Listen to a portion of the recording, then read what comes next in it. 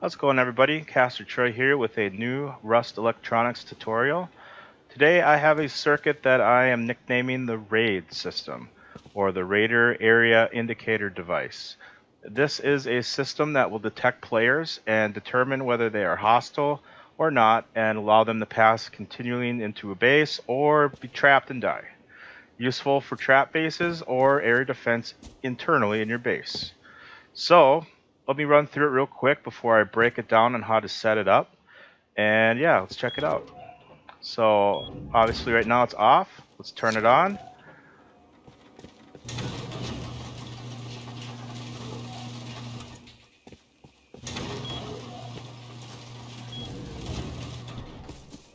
Fairly simple, but effective. Let's shut her back down so we can go through this. So the premise of this is basically a dual detection system. First, the lasers are going to detect whether a player enters the area and close the door behind them so they cannot leave. Or it'll give the owner the base protection. Um, and then there are two heartbeat sensors in there that are going to detect whether the player is hostile or friendly. Um, and that'll determine which door opens next, whether you get to continue into the base or the other door will open up with a turret to kill you. And in case you're thinking you can go through and hide on the other side, there are shotgun traps as well. So if you try to run immediately to the area to think you'd be safe, you will die that way. So either way, it keeps people from coming into your base and causing problems.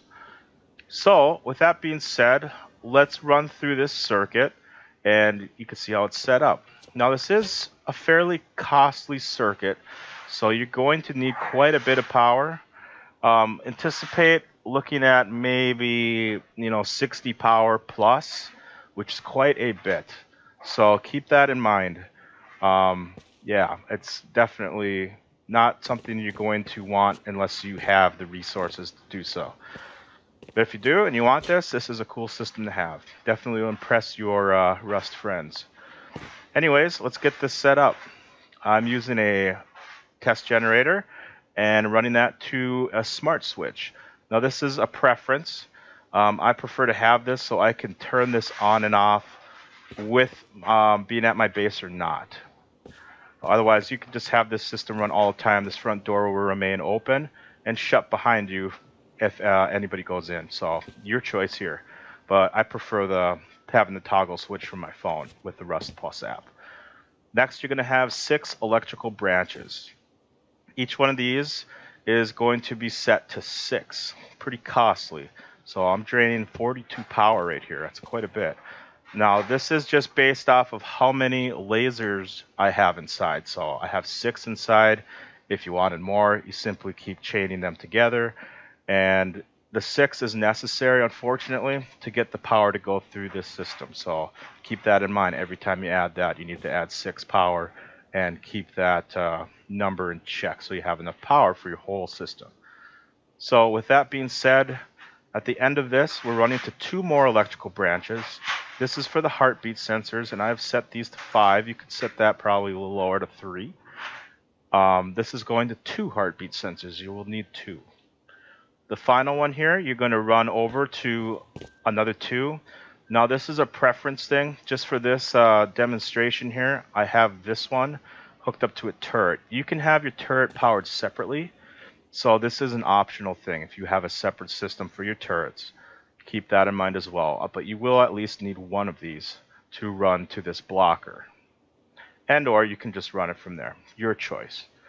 Um, so yeah, and then you'll have a blocker and at the end of either this one here or that one, you will run to um, the bottom of this blocker here.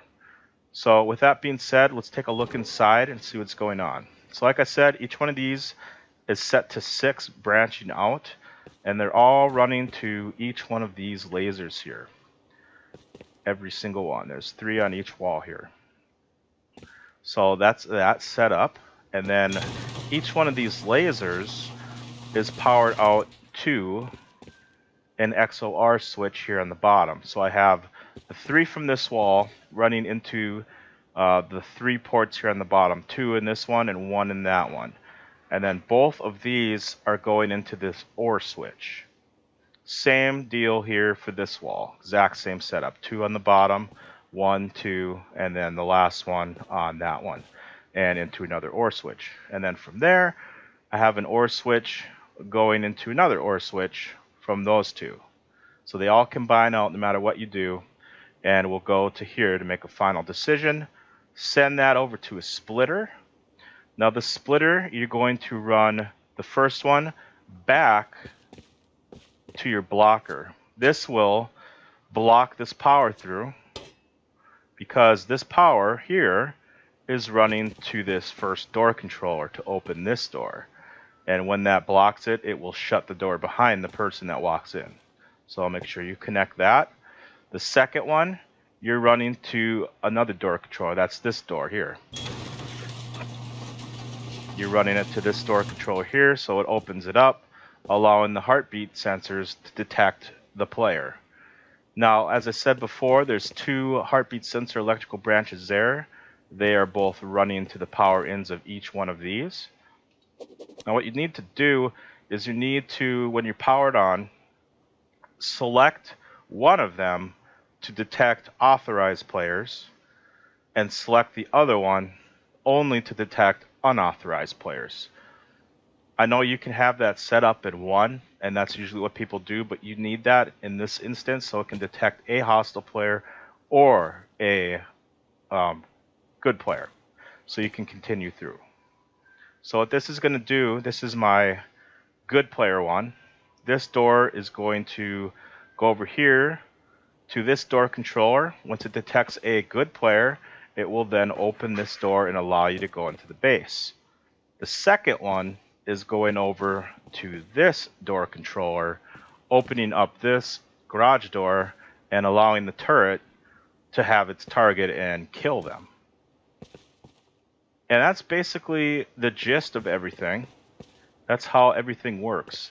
Um, also, another benefit too, as you go through this door, once you're out of range of this, this will close back behind you, as well as this open back up. So everything resets and you're good to go.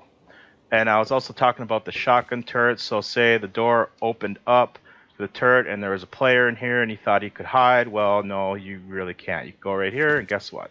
You got shotgun turrets. Kill you. So that's the whole system.